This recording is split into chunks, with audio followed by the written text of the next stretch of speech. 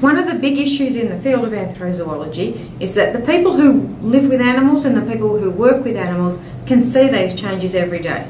Right? You, you take an animal into a nursing home and it changes the atmosphere and people become more communicative, they feel more relaxed. But for it to be a scientific understanding of that, we need research. We need to we need to really study it because if we're going to convince governments to put money into funding the sort of programs that we all know are wonderful, we need evidence. We need to prove that it works rather than just tell people that it works. So having a scientific basis for it is, is important to get support for the programs, but it's also important to understand it because it's not the case that all human animal relationships are wonderful. Some of them are terrible. If you have the wrong animals in the wrong place with the wrong people, it's not good for people at all, and neither is it good for the animals. So, anthrozoology, the research side of things, is about understanding exactly what's good and exactly what doesn't work and what does work and what works for which people in which circumstances so that we can use those relationships which are automatic and there to the best advantage for everybody.